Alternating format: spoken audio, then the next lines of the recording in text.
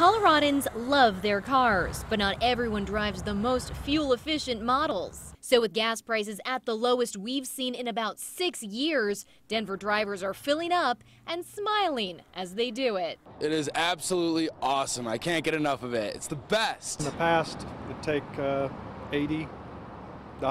Now it's half that. It feels great.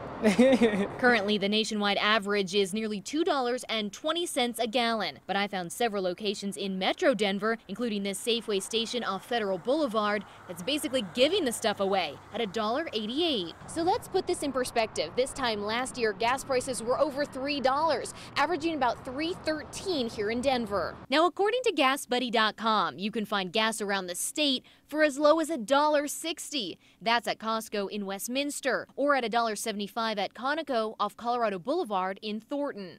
So what are drivers doing with the extra cash now that it's no longer winding up in here? Brian Neerman said he's ready to hit the road in his Ford truck.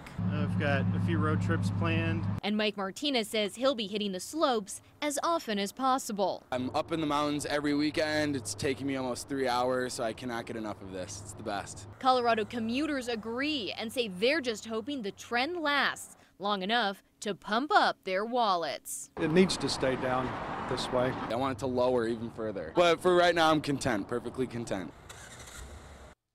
Well, Kristen is here now, and Kristen, you talk about Gas Buddy. I just pulled it up right mm-hmm. here on my smartphone, and we found Reports of gas in Fort Collins at $1.55 at Western Convenience. I know, just since we run Yeah. this report, now we're hearing 155. That's amazing. Um, get this, Lionel, I did the math, and that's a scary thought. But if we use today's average price of 203 here in Denver and compare that to one year ago when gas was about 313, that's a dollar difference. So if you have a sedan and you fill it up every week for about a year at these new prices, you could be saving yourself almost 600 bucks a year. What are you going to do with all that extra cash? You did all that math in your head, or Absolutely. did you use your calculator? Absolutely. No calculator Wow, necessary. that is impressive. That's a lot of Starbucks for the year as well. Broncos tickets, or some Whatever, of that warm right. gear that you'll Yeah. be showing us later. Yeah. All right, Kristen, thanks.